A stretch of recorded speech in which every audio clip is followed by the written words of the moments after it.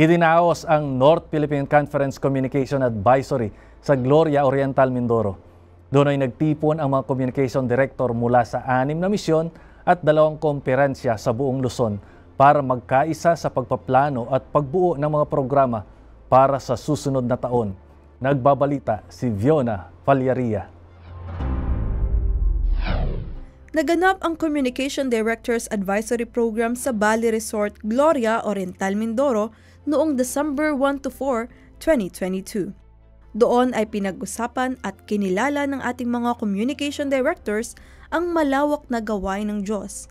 Pinagtulungang pag-isipan, siyasatin at ipinanalangin ang mga direksyon na tutunguhin ng departamento sa pagpapalago ng ministeryo. Ang ating mga directors sa buong Luzon ay tinipon sa lugar na ito para ating uh, ibigay muli ang direksyon na nais ng Panginoon na gampanan namin. Napakarami pong gawain ng uh, uh, medium ministries, lalo na kalahati sa ating mga direktor ay mga bago.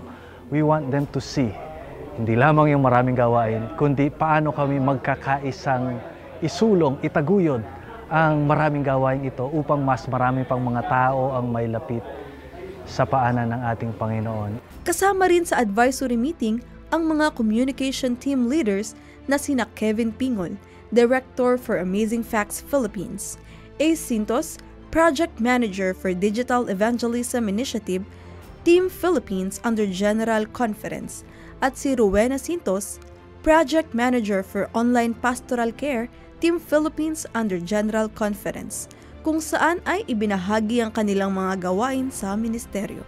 Nakakabless po ang uh, ginawa pong advisory dito sa uh, Valley Resort, dito po sa Gloria Oriental Mindoro, sapagkat uh, loaded po talaga yung, yung days uh, sa planning at saka sa spiritual growth din po naming mga communication directors.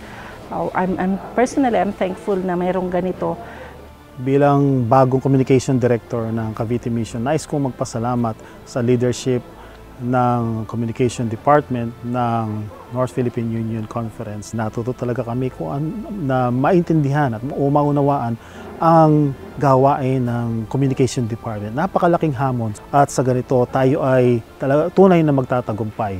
Para sa paghahatid ng mga balitang mayroong pag-asa, ako po si Fiona Fallaria para sa Hope Today and PUC News.